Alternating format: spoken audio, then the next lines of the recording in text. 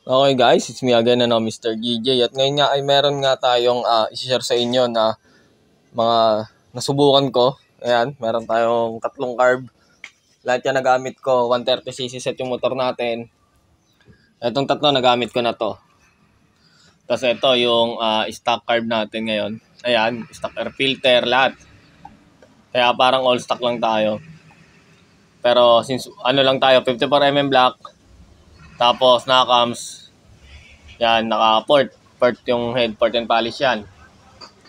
Then ngayon, ah, ito na ano, ito na yung uh, share ko sa inyo. Kala may dumadaan. Okay.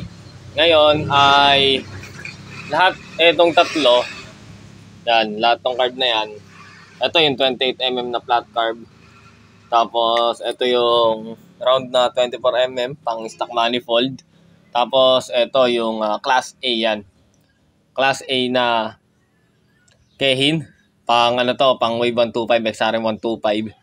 Ang bili ko dito, nasa ano lang to eh, 370. Ito, bili ko dito, 18, 18 or 16. Basta around doon, 18 to 16. Tapos ito, nasa 700 lang bili ko dito, ayan. Ngayon, punta ngayon tayo sa gas consumption ano. May proof din ako na ipapakita sa inyo na gamit ko to at gamit ko to. Ayan. Ngayon, punta tayo dito no. Bali, ganito kasi yan. Yung ano ko, yung pinaka biyahe ko nga araw-araw ay umaabot ng 40 km. 41, 41.34 km. Ganun na. 41 km ang biyahe ko kada araw. Ngayon, sa binabiyahe ko na yon araw-araw. After 3 days, nagpapa full tank ako. At doon ko nga nakukuha ano, yung mga yung mga ano na mga impormasyon natin na regard sa kanilang gas consumption ano. Madali naman na tong mat mato no. Ito ang nilagay ko dito, nag-jettings ako nito. Hindi ko lang na video kasi nagmamadali ako nung time na yon. Ang jettings neto, ang inilagay ko dito ay 85 yung main jet para hindi tayo ma-short sa gas. Ayan. Tapos ito ay 36 36 over 100. Then ito ay 38 105 ayan. 105 yung main jet ayan. Tapos dito ang ang tono ko dito nasa 2 turns at 2 turns 1.75 tapos ito, ano, 1.75 yung ikot, ganon. Uh, nakuha naman natin yung tono niya. Ayun. Pero nagulat ako kasi halos magkakaparehas lang pala sila ng gas consumption, ano. Okay, magsimula muna tayo dito. Ayun, no, 2.90 liters ang, consumption natin dito. Uh, bali nawala yun lang yung ano, yung gamit natin, no. Yung regard sa video, accidentally na delete. Bali 20.60 times 6 balikan kasi yon ano. So 123.84 km in 3 days ang tinakbo ko.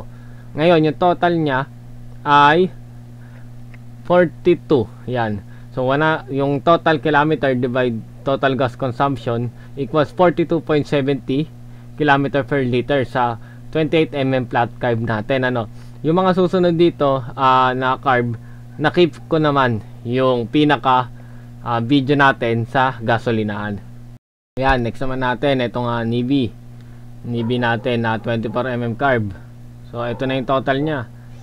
Ayan. Papakita ko rin sa inyo dito na nagpagas talaga tayo. Ayan, oh, 2.81 km. So, ito ay may 44 km per liter, ano. The next natin ay ito na. Stock carb. Yeah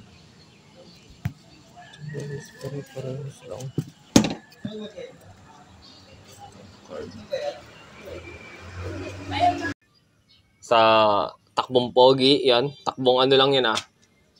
Takbong mga chill lang, chill ride lang. Magkakaparehas lang ng gas consumption ano ang nakukuha ko sa kanila. Halos. Pero ito, mas, mata- mas mataas ang konti, mas mababa. Tapos ano. Pero ang pinaka gusto ko sa lahat, siyempre, ay ito. Bakit ito yung pinaka gusto ko sa lahat?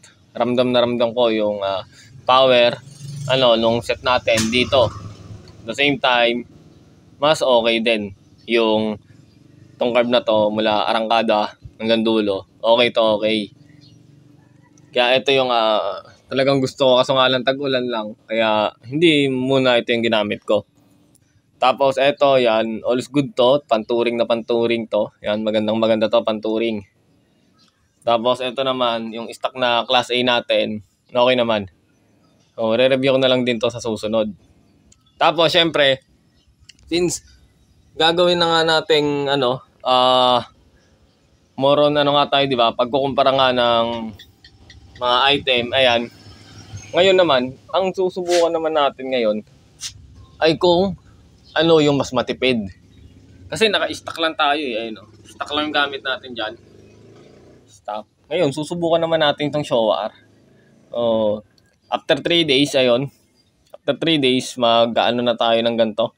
Mag susubukan na rin natin to after 3 days. Tapos yung ano, yung nakaraan, yung ano natin, XRM 110, ah, hindi pa kasi sa totally nagagawa, kaya hindi natin magawa ng part 2, no. Pero nakasun na, sa susunod pa rin ay bibidyoan pa rin natin yon. So, ito yung video natin ngayong araw. Maraming salamat sa inyong lahat at God bless. Brr.